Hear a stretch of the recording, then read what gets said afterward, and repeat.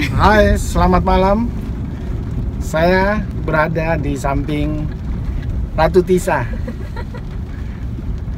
Saya ingin berbincang bagaimana dia mengurus sepak bola yang di dalamnya dominan laki-laki, bahkan mungkin Tisa sendiri yang perempuan.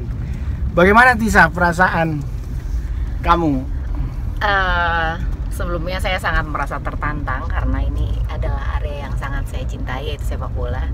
Tapi em, anehnya atau mungkin ajaibnya nggak seperti yang orang-orang bilang bahwa ternyata sepak bola kita khususnya sepak bola Indonesia tidak mengenal adanya perbedaan gender. Sepak bola kita sangat ramah.